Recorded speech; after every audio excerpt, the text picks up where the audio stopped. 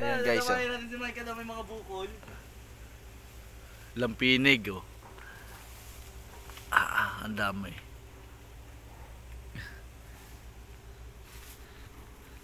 Ah, nakaka makakami yan.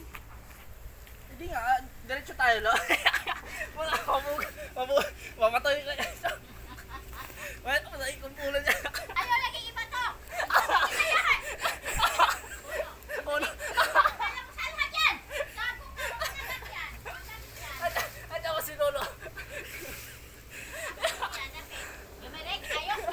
Bakit?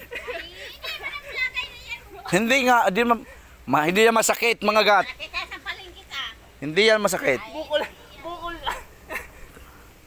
Ayan, Ano oh. kayo, Jom? May kagat ka na, may taga ka pa kay Lolo. Ayan, oh.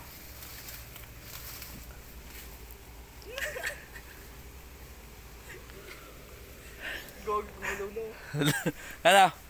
Batay ko? Ko, putang ina kay. Ay, makakatakot naman yan. Oo, oh, pag nagalaw yan, ah, mga gat yan. Hindi pwedeng galawin yan dyan. Siya, mag-harvest na lang tayo ng kwan. Dito muna tayo. Harvest na tayo ng mani. Yeah. Mhm. Mani, mani, mani.